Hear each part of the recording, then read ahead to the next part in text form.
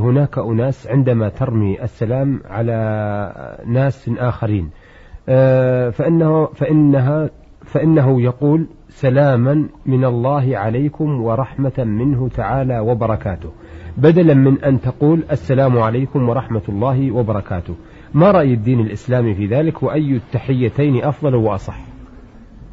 يا أخ فتحي مؤمن خميس من الجمهورية العربية المصرية تقول إن بعض الناس عندما يريد أن يسلم يقول سلام من الله عليكم ورحمته وبركاته.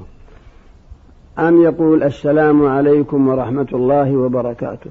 كل ذلك جائز.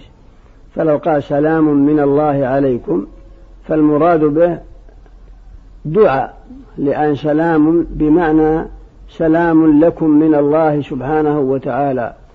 بأن يرحمكم ويبارك فيكم. فهي جملة دعائية لا بأس به. لكن لو قال السلام عليكم ورحمة الله وبركاته لا بأس به. وأولى وأحسن. لكن لو قال سلام من الله عليكم يعني بمعنى رحمة من الله وسلامة من الله لكم من الأذى والشر والبلاء كل ذلك لا بأس به لأنها دعاء. نعم.